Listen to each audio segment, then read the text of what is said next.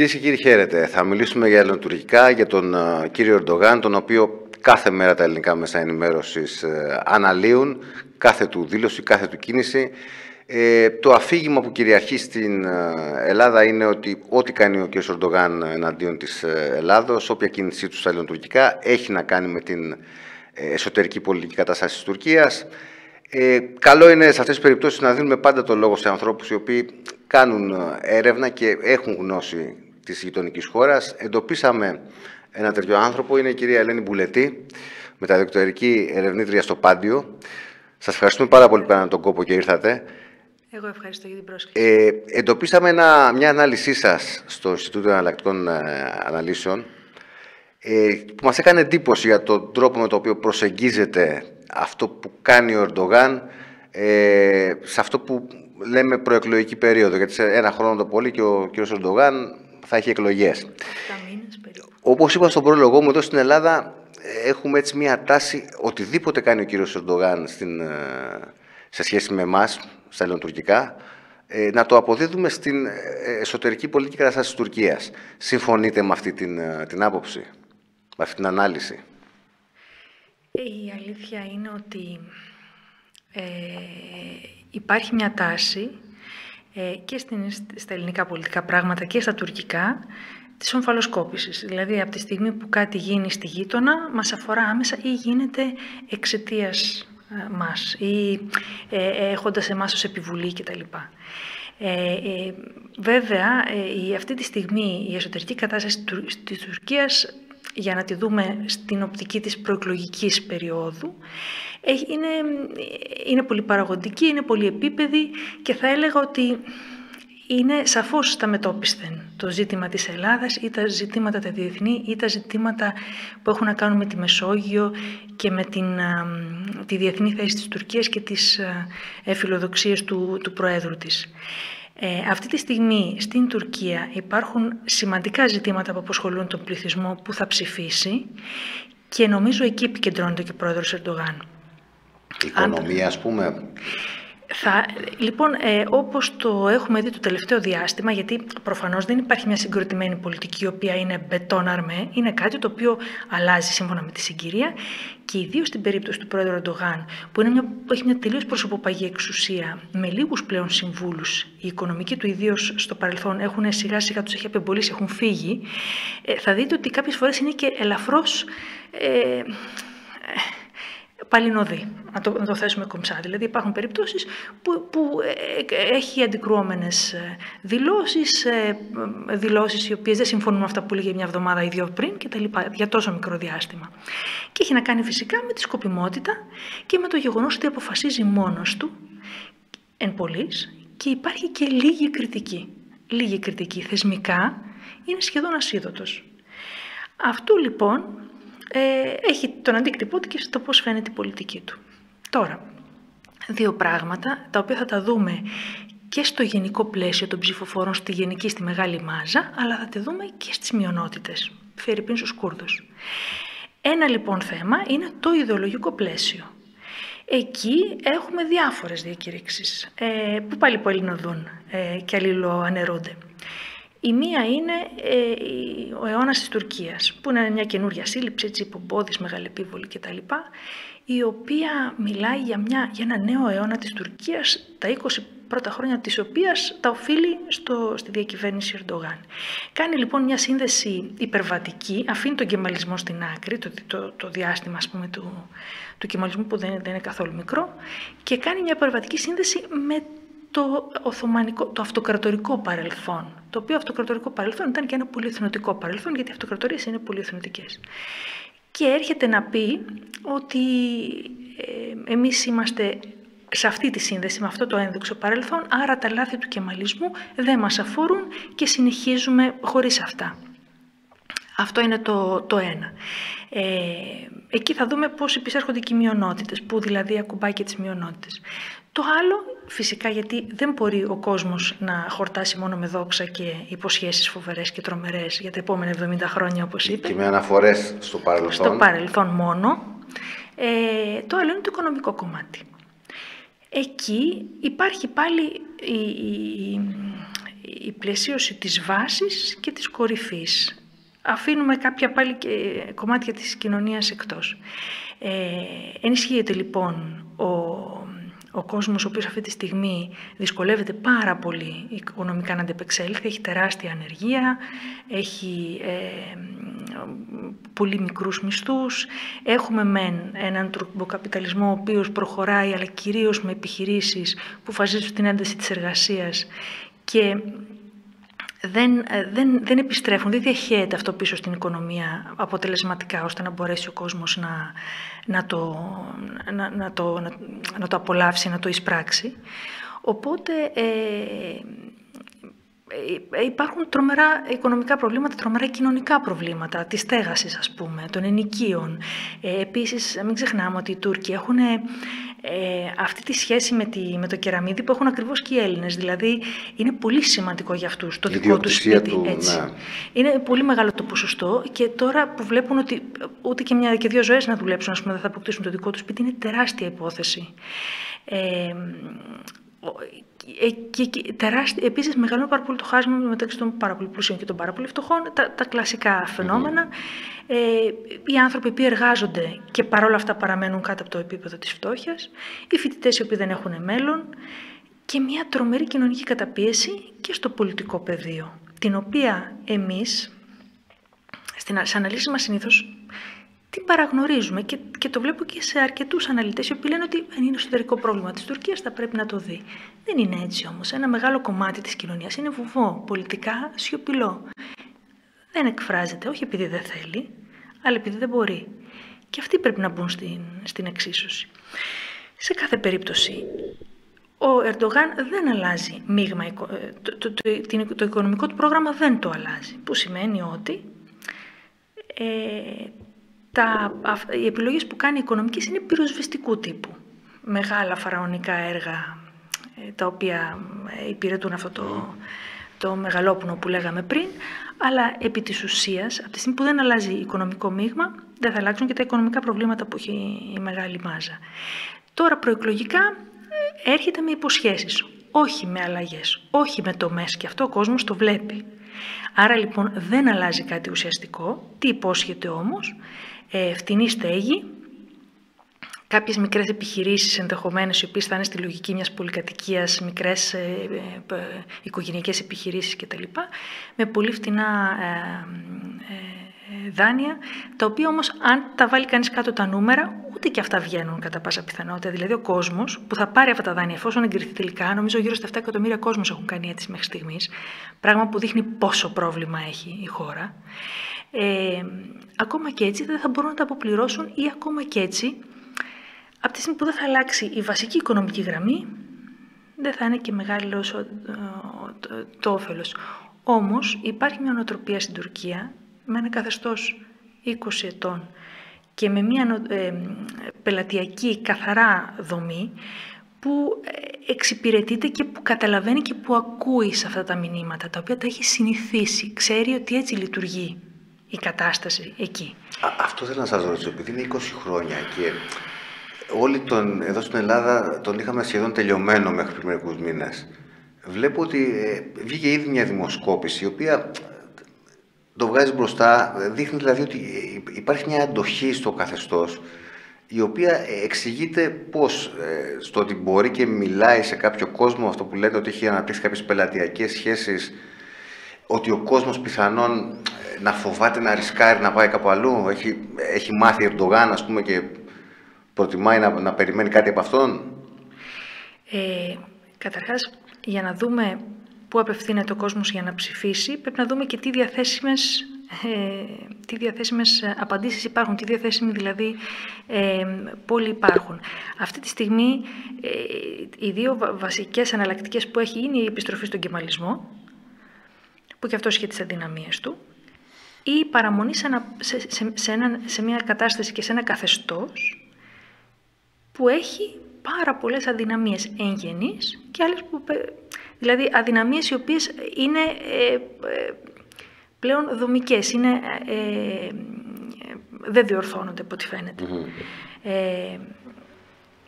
Ο κόσμος όμως, ο οποίος, όπως είπαμε πριν, οι φτωχοί των πόλεων, οι άνθρωποι οι οποίοι, ε, τους οποίους έκανε ορατούς ο Ερντογάν με, με τις πολιτικές του τα προηγούμενα χρόνια, δεν είναι μόνο φτωχοί άνθρωποι, έχουν και άλλους τρόπους, ε, έχουν, έχουν, έχουν και, και άλλα στοιχεία ε, που τους ορίζουν και ένα από αυτά είναι και το θρησκευτικό.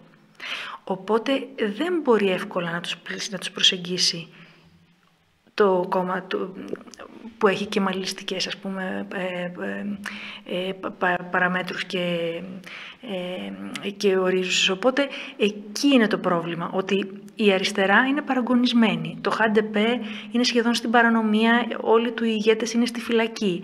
Ένα μεγάλο μέρος της αντιπολίτευσης είναι ανενεργό και ό,τι είναι ενεργό είναι βαθιά συντηρητικό.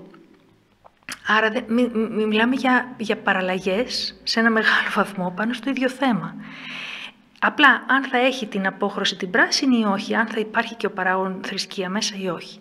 Έχει σημασία ότι ο Κιλίτ Τάρογλου, αντιλαμβανόμενος αυτό το πρόβλημα, ε, έκανε την υπέρβαση των πολλών εισαγωγικών με τη μαντήλα και είπε ότι δεν έχουμε κανένα πρόβλημα, οι μουσουλμάνες όσες θέλουν και τα λοιπά έχουν το δικαίωμα άνετα να το χρησιμοποιούν. Παρόλα αυτά, για να τους σύρει στο δικό του παιχνίδι, ο Ερντογάν λέει ότι όχι να το βάλουμε στο Σύνταγμα, να γίνει ταυτοτικό ας πούμε, στοιχείο του, του Συντάγματος και του κράτους.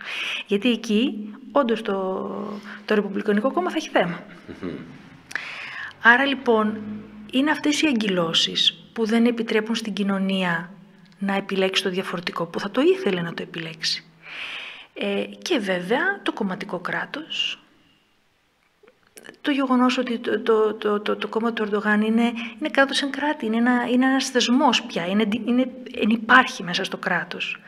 Ε, και ε, ακόμα και σε δήμους ας πούμε που, που δεν είναι πια του ΑΚΕΠ, ο κόσμος δεν έχει καταλάβει τη διαφορά. Γιατί μιλάμε για κάτι, υπάρχουν γενιές Τούρκων οι, οποίες δεν, οι οποίοι δεν έχουν ζήσει άλλο, άλλη κατάσταση από αυτή. Γιατί να μην ναι. τη θεωρούν δεδομένη λοιπόν, ή να μην θεωρούν ότι δεν θα αλλάξει κάτι εύκολα, ή να φοβούνται την αλλαγή. Και έχει και ένα επιχειρηματικό κατεστημένο το οποίο το, το, το έφτιαξε και το στηρίζει. Έτσι, υπάρχει το μια οποίο εξαρτάται από τον ίδιο. Εξαρτάται από τον ίδιο για την ευημερία του, ε, το οποίο έχει αυτήν την επίφαση της, ε, της πρόοδου κτλ. Αλλά κατά βάση, ναι, με τα καταποκλειστικότητα το κρατικό χρήμα και από αυτό ζει. Ε, και είπαμε ότι αυτός που την πληρώνει είναι το εργατικό δυναμικό το οποίο ναι μεν έχει δουλειά, αλλά αυτό ζωή. Οπότε υπ' αυτή την έννοια δεν θεωρούμε ότι όλοι αυτοί προσφέρουν κάποια ιδιαίτερη ε, ε, υπηρεσία, ας πούμε, είτε στο κράτος, είτε στο έθνος, είτε στο... όπως όλα αυτά που ευαγγελίζει το Ερντογάν. Το, το, θέμα... Ε, τα χρήματα θα πέσουν, δεν θα ναι. φτάσουν όμως μέχρι, μέχρι την, το, τη βάση. Το θέμα Ελλάδα, πιστεύω, το χαρτί Ελλάδα πιστεύω θα το παίξει. Γιατί εμείς έχουμε αυτή την ανησυχία εδώ, ότι θα χρησιμοποιήσει τα ελληνοτουρκικά για να κερδίσει κάποιους πόντους. Δεν ξέρω, καταρχήν παίρνει πόντους, πιστεύετε, από τα ελληνοτουρκικά ο Ερντογάν; Θεωρώ ότι τον μέσο ψηφοφόρο τον απασχολούν, είναι πραγματιστής όπως οι περισσότεροι ψηφοφόροι και τον απασχολεί το μέλλον του, το, ε, η δουλειά του, το αν θα έχει ηρεμία στην, στη χώρα, αν θα υπάρχει, δηλαδή δεν πιστεύω ότι υπάρχει κανείς ο οποίος θέλει τον πόλεμο. Ε, και έχει φανεί αυτό και με δημοσκοπήσεις, δηλαδή και εμείς πρέπει να το βλέπουμε αυτό, ότι ο μέσος Τούρκος δεν έχει κανένα λόγο να, να είναι αρνητικά διακείμενος έναντι των Ελλήνων, του Ναντίον. Αλλά ε, δεν πρέπει να ξεχνάμε ότι στην Τουρκία υπάρχει ένα πάλι μονο, μονοκόμματο τελείως ε, πεδίο όσον αφορά την ενημέρωση ε, και μονοχρωματικό και ε, δεν υπάρχει αντίλογος, οπότε υπάρχει σαφώς μια έντονη προπαγάνδα, ε, την οποία όμως οι Τούρκοι έχουν μάθει περισσότερο ενδεχομένως και από άλλους λαούς να τη διαβάζουν, γιατί είναι κάτι που το έχουν εμπεδομένο, οπότε δεν, είναι, δεν, δεν, θεωρώ ότι είναι κάτι το οποίο το αποδέχονται άκρητα τελείως. Από ό,τι φαίνεται και από ό,τι φαίνεται και από τα site και από ό,τι φαίνεται και από τα social media, τα οποία είναι έντονος, ε, έντονο πεδίο αντιπολίτευσης και ελεύθερης διακίνησης ιδεών στην Τουρκία. Έξω και ο νόμος που πέρασε για τα fake news και τα λοιπά που έχουν φέρει τον Κιλιτζάρογλου σε τόσο δύσκολο σημείο. Δηλαδή η, ο προεκλογικός αγώνας εκεί διεξάγεται με τέτοια μέσα. ότι το ένα κόμμα θα απογορευτεί, ο βασικός μας αντίπαλος θα πάει φυλακή επειδή βρήκαμε ένα νόμο τελευταία στιγμής για τα fake news και τα λοιπά. Ε, το ΠΚΚ είναι τρομοκράτες, ναι, είναι και το ΧΑΝΤΕΠΕ τρομοκράτες, ναι, είναι και το Ρεπουμπλικανικό Κόμμα τρομοκράτες, έλεγε προχτές ο Μπαχτσελή. Ο διάλογος, επομένως, είναι σε αυτό το επίπεδο, γιατί θεσμικά δεν υπάρχουν όρια πολύ σαφή τα οποία να σέβονται άνθρωποι με τέτοια προσωποπαγή εξουσία όπως είναι ο Ερντογάν και ο, και ο, ε, ο, ο συνεργάτης του, τέλος ναι, πάντων, ναι. ο σύμμαχός του.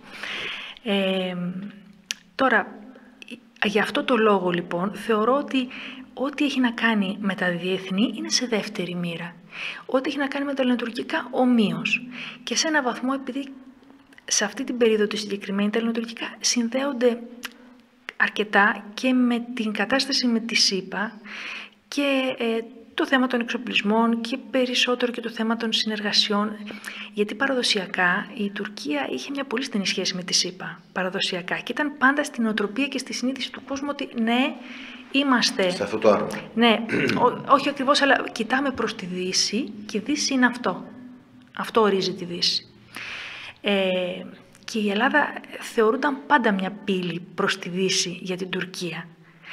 Ε, και στο πλαίσιο της Ευρωπαϊκής Ένωσης, όλα και παλαιότερα και πάλι στη συζήτηση και στο σχήμα αυτό ε, στις σχέσεις με, το, με τη ΣΥΠΑ και στην, στην αλληλεξάρτηση με τη ΣΥΠΑ.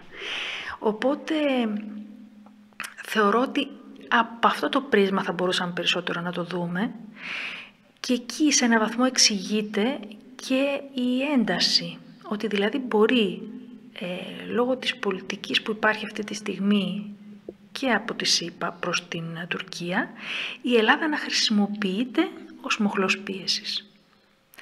Ε, επειδή το έχει πει και δημόσια Ερντογάν, δεν ξέρω αν πιστεύετε ότι το εννοεί, ε, θέλει να στρέψει την ε, Τουρκία προς αυτό που λέμε Ευρασία. Έχει πει σε κάποια ομιλία του, να πάμε καλά, ότι το μέλλον είναι στην Ευρασία. Δεν θέλουμε να κόψουμε τις σχέσεις μας με τη Δύση, αλλά το μέλλον είναι αλλού. Πιστεύετε ότι το εννοεί, ότι πάει τη χώρα προς τα εκεί; Εγώ πιστεύω ότι αυτές οι αναγνώσεις είναι συνήθως ευκαιριακές και έχουν να κάνουν με τη συγκυρία. Δεν είναι κάτι σίγουρο κάθε φορά, προσαρμόζεται στην εκάστοτε ευκαιρία.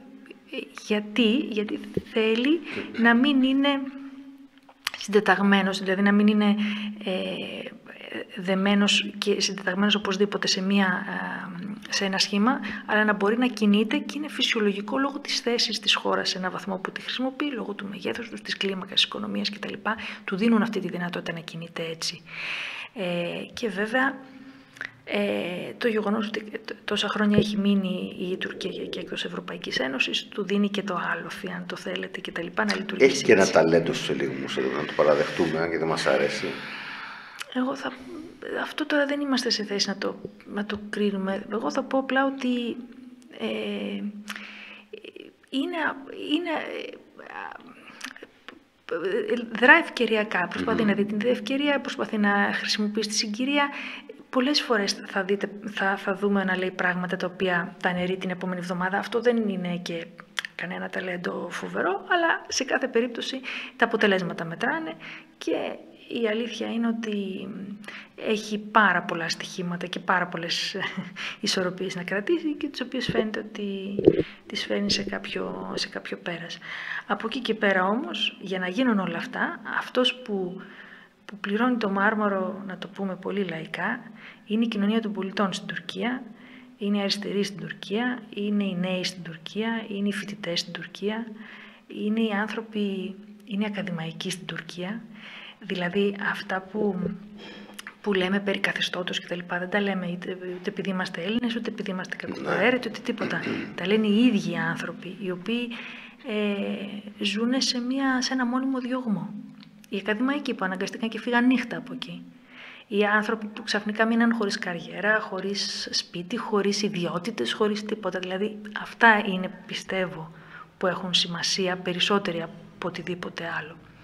Επ' αυτού, και επειδή έχει να κάνει και με το προεκλογικό, ε, να αναφέρω λίγο για το θέμα των Κούρδων, που είχε ενδιαφέρον που το είδα προχτές, είχε πάει στο Διάρμπακυρ, ε, το οποίο είναι νοτιοανατολικά, είναι από τις βασικές κοιτίδες των, των Κούρδων κτλ. Και, και είπε μεταξύ άλλων ότι εμείς Ε, βοηθήσαμε τους χριστιανούς, βοηθήσαμε τους Εβραίους, δεν θέλουμε το διαφο... δεν, ε, δεν πατάξαμε ποτέ διαφορετικότητα κτλ. Είτε των Κούρδων λόγω της καταγωγής, των Λεβιτών λόγω της καταγωγής, λόγω της θρησκείας κτλ. Των Μουσουλμάνων λόγω της θρησκείας. Είμαστε συμπεριληπτικοί. Λίγες μέρες πριν είχε πει, ξέρω εγώ, για τους ε, Έλληνες ότι θυμηθείτε τη Σμύρνη ναι. και ότι θα έρθουμε νύχτα και τι έγινε και πώς φύγατε κολυμπώντας. Δηλαδή η συμπερίληψη είναι ευκαιριακή, ε, συμπερίληψη για τους Κούρδους, αλλά μετά από λίγες μέρες όμως να απογορευτεί το, το ΧΑΝΤΕΠΕ. Ε, είναι τρομοκράτες. Θέλω να πω ότι όλα αυτά δεν, δεν ταιριάζουν μεταξύ τους, όπως και να τα δει κανείς. Όμως, στον Μπακύρ, για παράδειγμα, ε, έκλεισε μία από τις διαβόητες φυλακές και του καθεστώτος Ευρέν και, ε, που, στο οποίο μαρτύρησαν κυριολεκτικά ας πούμε, οι Κούρδοι, στο οποίο γινόταν κανονικά ε, εκστρατείες εκτουρκισμού, βασανιστήρια και υπάρχει μια ε, πτάση να κλείσουν τέτοιες φυλακές σύμβολα και να μπούμε στη λογική ότι ε, θα γίνουν μουσεία, θα, γίνουν, θα επανασυνδεθούμε με τη μνήμη. Βέβαια κάποια αρχαία έχουν καεί σε πυρκαγιά, δεν υπάρχουν, αλλά θα υπάρξουν τα υπόλοιπα. Παρ' όλα αυτά η Αγία Σοφιά παραμένει τζαμί. Άλλη είναι αυτές οι αντιφάσεις που λέτε, ναι. Ναι, δηλαδή δεν μπορεί να πει κανείς ότι να, τον να, να πιστέψει. Και πιστεύω ότι και οι ίδιοι ψηφοφόροι ή αυτοί στους οποίους πετάει αυτό το, την, έτσι, τη, τον κλάδο ελέας ας πούμε δεν τον βλέπουν με, με, με καλό μάτι γιατί απλούστατα δεν γίνεται να είσαι με δύο μέτρα και δύο σταθμά εκεί που κάθε φορά συμφέρει και βολεύει γιατί ξέρει αυτός που είναι απέναντί ότι σε δύο-τρεις μήνες, πέντε-έξι μήνες θα αλλάξει το... Αυτό δεν δε, δε θεωρώ ας πούμε ότι είναι κάποια φοβερή πολιτική έτσι, έμπνευση. Παρ' όλα αυτά είναι, έχει σημασία ότι κάποιες φορές είναι σαν να παίζει ενώ παίκτης. Από τη στιγμή που απέναντι υπάρχει μια πολύ διασπασμένη αντιπολίτευση, υπάρχουν ε, ε, και, δεν υπάρχει επαρκής πολιτική εκπροσώπηση όλου του φάσματος της κοινωνίας η οποία να έρθει να μιλήσει ισότιμα σε ένα τραπέζι μαζί με τους υπόλοιπους. Μετά από τις αντιδράσεις που είχε το 2013, αν θυμάμαι καλά, με το πάρκο του Γεζή, ναι.